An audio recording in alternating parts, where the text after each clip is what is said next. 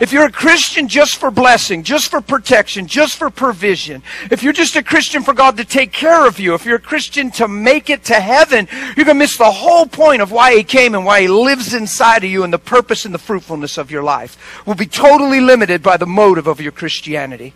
Is that fair? So, so your, your motive in Christianity has to be beyond self-preservation.